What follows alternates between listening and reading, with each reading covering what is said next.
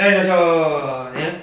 新しい新しいセクションですね。2番、え大気の状態ということで2の1大気の相区分の話をしていきますね。そう大気圏のまあその層とか大なんだろうな、ね、成層圏とか熱圏とか電離層とか聞いたことがあるのね。ね。そう。一応じゃないんですよ大気って言っても。ね。一応のように見えるけど気温とか密度とか化学組成とかによって、まあ、性格が全然違うんですね。その性格をちゃんと分類分けしてちゃんとお話ししようかなと思います。え、っと、まあ、ここにグラフがあるんだけどこの赤い部分が気温。でまあこういう境目が書いてあるんだけどここのエリアのことを1番。ここのエリアを2番。ここのエリアを3番。ここのエリアを4番、まあ、あらかじめ打っておきましょう。ね。で1番。一番地表に近いエリアのことを対流圏。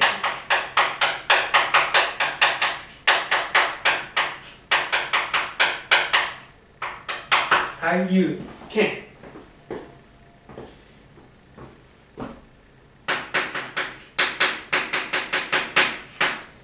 地表の、えー、平均気温はおよそ15度ですね。してた ?15 度。ね。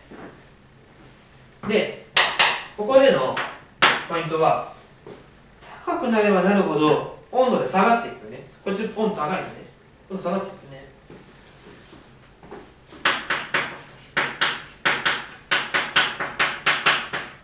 高さとともに、えー、っと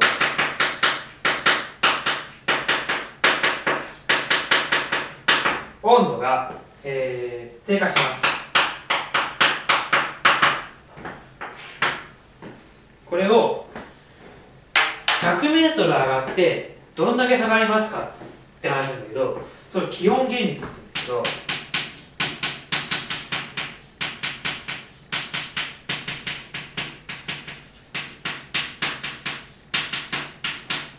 気温現実ね。それがおーと0.65度。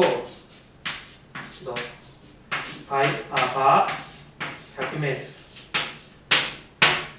要は100メートル上がるごとに0.6度下がります。っていうそれを気温現実、えー、なんていう言葉で表します。こいつね結構この後からこの後でもたくさん出てくるので覚えておいてください。気温現実って言葉と数字ね。覚えてね。はい。ですか？で2番目。うんととととと2番目は何ですか？2番目は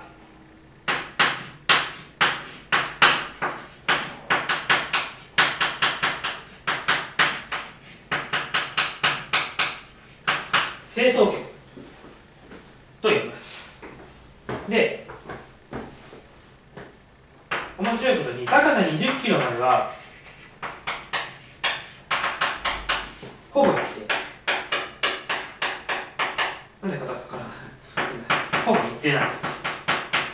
ねだけど20キロ上空20キロを超えるとグワーって気温が上がるんですよ。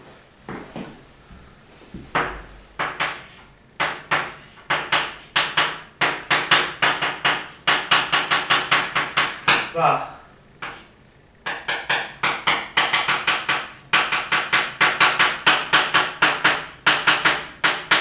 気温が上がっていくんですよ。なんでですか？それは O3 が多く存在する。存在するからですね。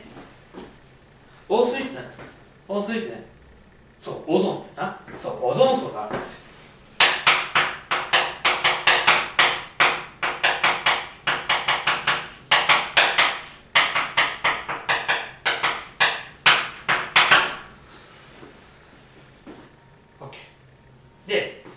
3番目は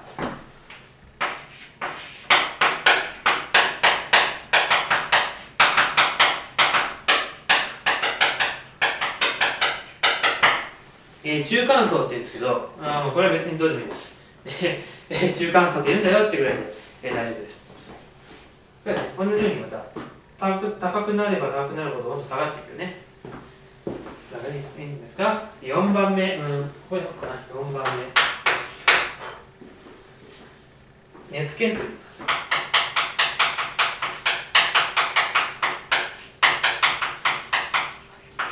熱源。熱源っていうのはうんと。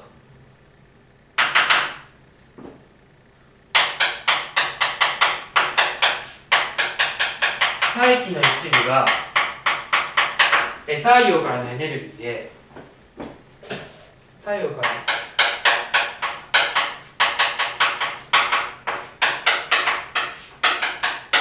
エネルギー放射で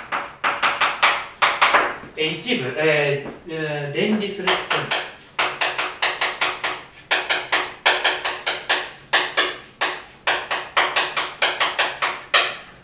電離してイオンになります。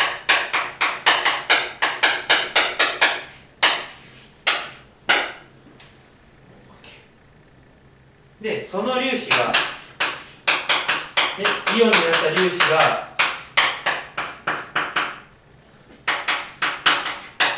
多く、周、した地域が地域密集したエリアがあるんだ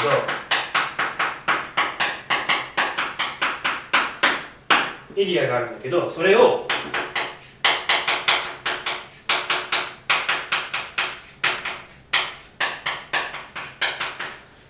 電離装置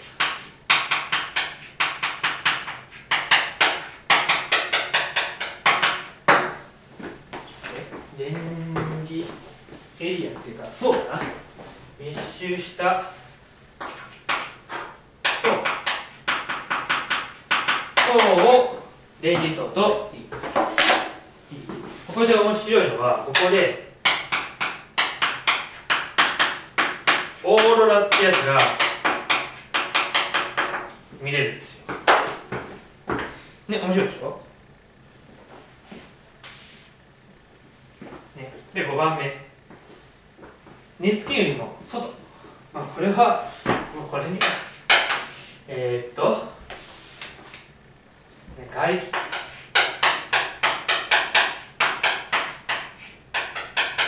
外気圏なんていう言い方をします、ね、あの熱気よりも上空って考えてくれても構いません。OK でこのグラフを見て一箇所の、ね、特殊な。層の境があるね。これ大事なんですよここさ初めて極小になる極小温度極小ね。そうそうなる、えー、面のことを境界面のことを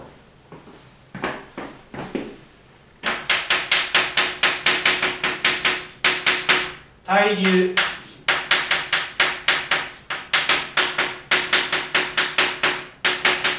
見解面って、まあ、単に見解面とも言うんだけどってここはここも見解面だよねここも見解面なんですけどな。ね剣の境じゃん。まあ、まあ、見解面ここのことね。ここのことを1と2がいた。1は対流圏で2は清掃圏ですか、えー、そのあと境のことを対流圏解面で単に見解面とも言います。OK? でたくさんあるでしょ？こういういろんな、ね、性格を持ったやつらが空気がいるじゃない、ね、それを平均した気体のことを、えっと、標準大気なんて言います。なえー、っと標準大気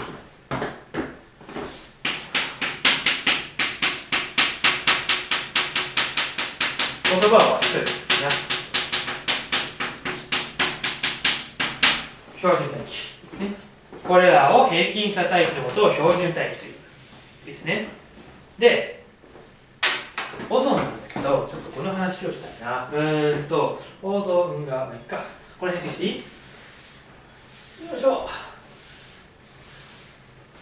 オゾンの生成についての話をしたい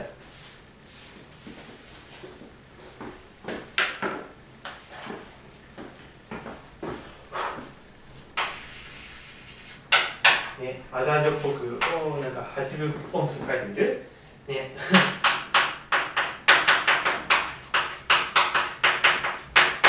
えオゾンの生成についての話をしていきます。ね、オゾンの生成どうやってされるの？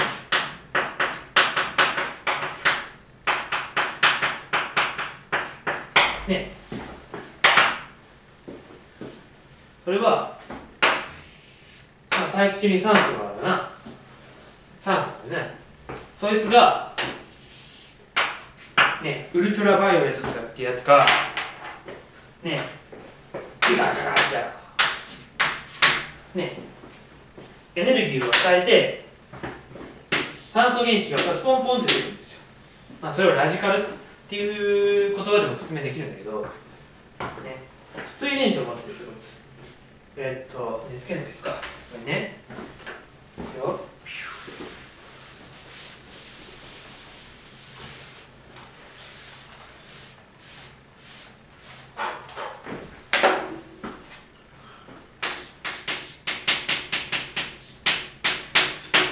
ラジカル O これは科学でやった普通遺伝子ってやつを持つんだけど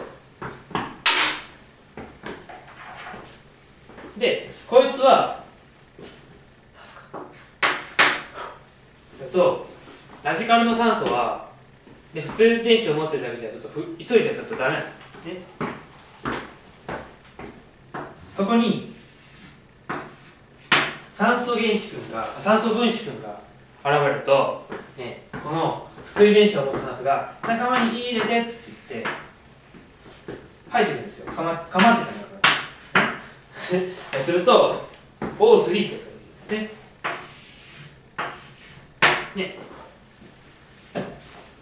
こいつはただただ酸素2人が酸素原子2人が手つないで仲良くやってんだけどそこにかまかまってちゃんが1人入るとね2人がちょっとえー、なわけですね。俺2人でな俺たち僕たち私たち2人で仲良くやってんだけどつって。相談役がいるんですよ。こいつが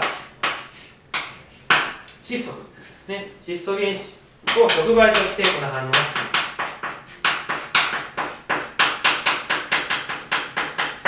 るね窒素原子君にねえねえねえこのかまってちゃんがさなんか仲間に入れてほしいって言うんだけど仲間に入れてっていいかなって相談してる。するとこいつはよかろうって仲間にしてる。すると、えー、オゾンってやつができるんですね、まあ、よく科学では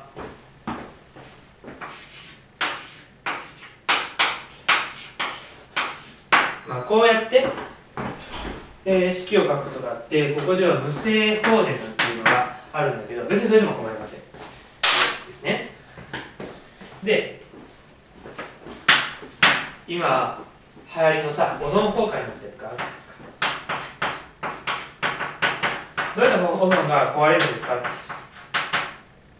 こうかいかかあのフロントかって話は今なしだそれはもうちょっと後でできたらしようと思ってる。オゾン崩壊な。そいつは同じですこいつの中を引き裂くやつはもうやつしかいないですよ。ね、3人が仲良く、ね、トリを組んで頑張ってるのに、ここに干渉が入ってですね、ね、ウルトラバイオレットっていう、ね、うるさいやつが入ってるんですよ。すると、どうなるかというと、また、えー、かまってちゃんが飛んでいくんですね。ドーンって飛んでって、こういう感じで。まあ、こいつも普通遺伝子を打つ。でこいつはどうなるかっていうと今度は周りのオゾンに助けを求めるんですねで仲間に入れてなると今度はこうなるんですか？っていうとこんなことにならない。ねいや僕たちは2人ですねいっぱいだわってなってどうしようどうしようどうしようじゃあ2人2チームに分かれちゃえつって、えー、こういう仕組みです。OK まあウルトラバイオレット、まあ、オゾン層っていうのは紫外線を守るなんて言うけど紫外線を守る代わりに自分が犠牲になっちゃってるねまあ、そういう感じで、えー、と理解していくということですね。はい、次は、ね、総区分を今度はこの空気の大気の中にある水蒸気にね注目してお話ししようと思います。